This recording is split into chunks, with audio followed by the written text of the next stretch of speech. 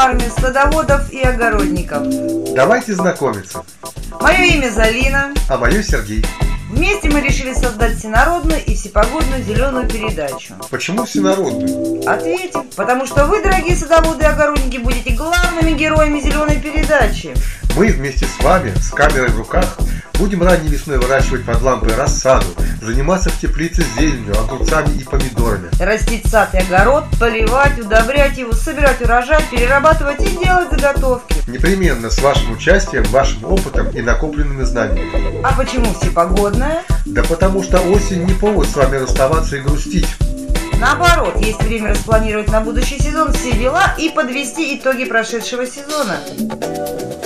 И этот выпуск не исключение. Впереди холодная зима и авитаминозная весна. Чтобы оградить себя от осенней хандры и зимней спячки, нужно вспомнить, какие культуры более полезны и доступны в этот период. Мы решили петрушка. Сегодня поговорим о ней.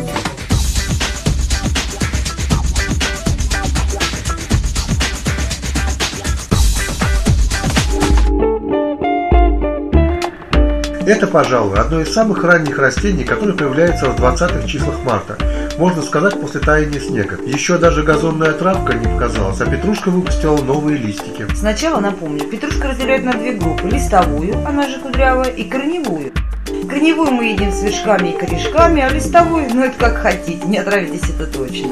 У корневой лист более жесткий и суховатый, в отличие от листовой. Кстати, до сих пор петрушка встречается в дикой рыбе на побережье Средиземного моря. Считается, что это ее родина. Упоминается она еще в древних мифах египтян и Древней Греции. Оттуда эта полезная трава распространилась по всей Европе. По приказу императора Карла Великого ее начали выращивать во всех садах. В России ее начали выращивать с XI века. Хотя некоторые источники утверждают о более позднем времени в XVIII веке. Это уже не так важно.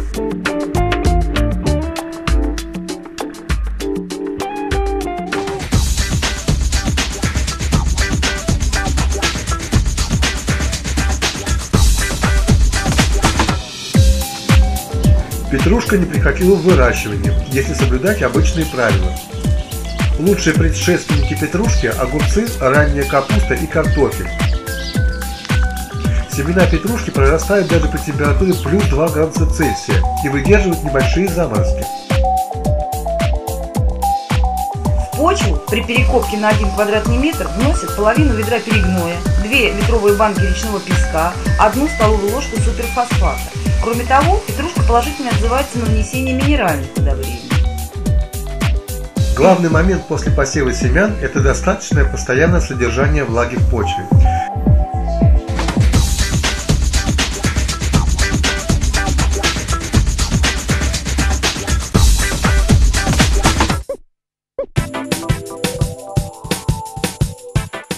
Свежей петрушкой можно довольно долго не расставаться, если посеять ее в теплице. Мы посеяли зелень на небольшой грядке. Она хорошо переносит довольно низкие температуры. Как видите, помимо петрушки, салат тоже прекрасно себя чувствует. Эта съемка производилась 9 ноября и 2 декабря. Срывается снег, но в теплице плюс 4 градуса. А посеяли петрушку и салат 21 сентября.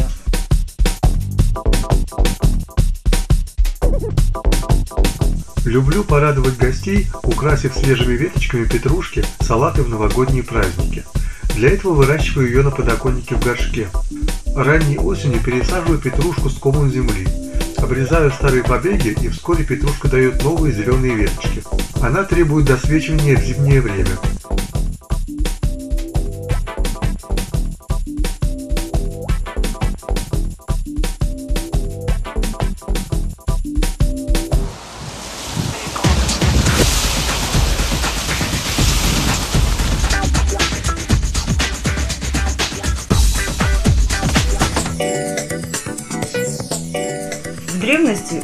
У греков и римлян петрушка была символом печали.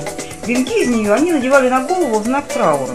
В быту ее использовали для борьбы с насекомыми паразитами. Уже в то время петрушка лечили некоторые заболевания. О более современных и целебных свойствах этого замечательного растения мы вам напомним.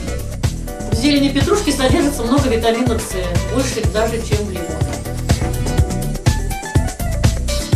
Петрушка содержит большое количество кератина и поэтому показательно не уступает моркови. Сок петрушки помогает усваивать э, в организме магний, поэтому играет важную роль в укреплении костей и костных тканей. При ослабленном зрении зелень петрушки хорошо отбеливает зубы, как сопутствующее, ну не, не основное лечебное средство. Немаловажно, что в петрушке содержится провитамин А. Профилактика атеросклероза, легкая переносимость жары. Повышает стрессоустойчивость, очищает от радиоактивных элементов и укрепляет иммунитет. Витамин В1 дианин улучшает работу мозга, участвует в кроветворении, замедляет процесс старения. Уменьшает вред алкоголя и табака, улучшает пищеварение и помогает при укачивании. Витамин В2, рибофлавин, участвует в метаболизме белков, жиров и углеводов, снижает усталость глаз. Необходим для дыхания клеток, ускоряет превращение витамина В6 в активную форму. Витамин В9, фолиевая кислота, создание новых клеток, развитие иммунной системы и развитие кровеносной системы. А также петрушка содержит соли калия, магния, железа, инулин и ферментные вещества. Наша знакомая поделилась с нами очень простым, но очень полезным рецептом, который помогает ей всегда оставаться в тонусе. Здравствуйте, дорогие телезрители! За окном холодное время года. Сейчас я вам покажу простой рецепт коктейля для поддержания жизненного тонуса.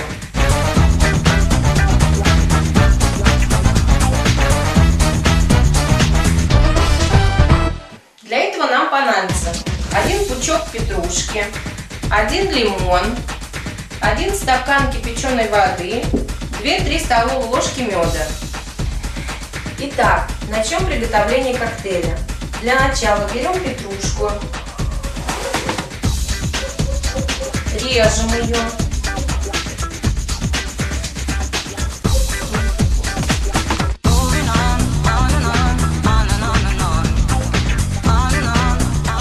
Измельчить петрушку, нам для этого понадобится блендер. Закладываем петрушку в блендер.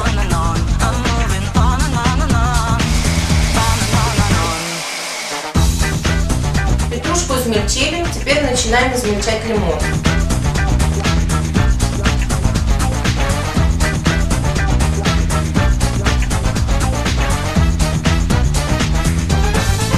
Добавили лимон, теперь измельчаем все вместе. Берем один стакан кипяченой воды. Добавляем его к измельченной петрушке и измельченному лимону. Добавляем 2-3 столовые ложки меда. Так как у нас чайная ложка, мы добавляем 4 чайных ложки меда в коктейль. Теперь все это перемешиваем в блендере.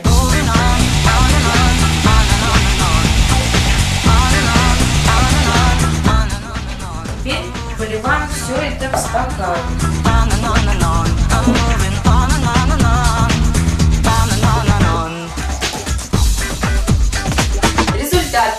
Силы и энергии, стойкий иммунитет и хорошее настроение. Ваше здоровье!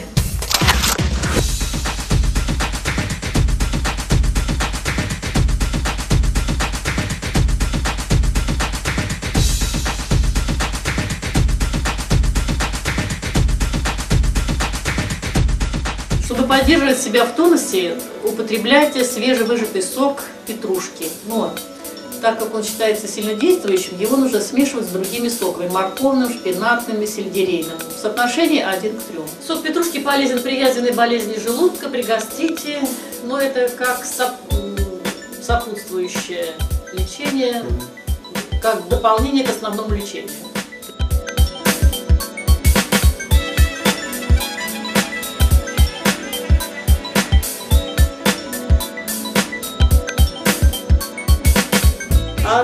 Что все соки натуральные, вот ты, например, выжил сок яблочный, там, какой, он должен 2 часа постоять в холодильнике. Любой сок.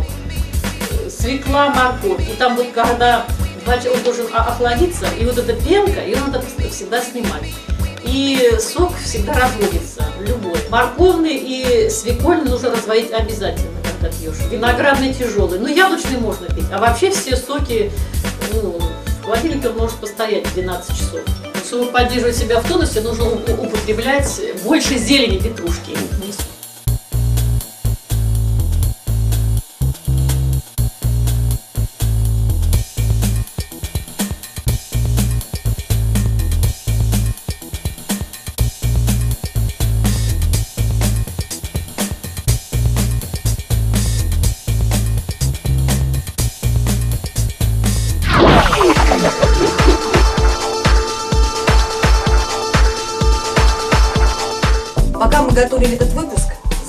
Калачевского района Митина Елена позвонила и обратила наше внимание на сайт Кизима Галины Александровны, которая является известным садоводом-практиком.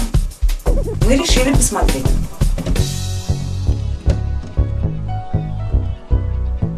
Посадила петрушку.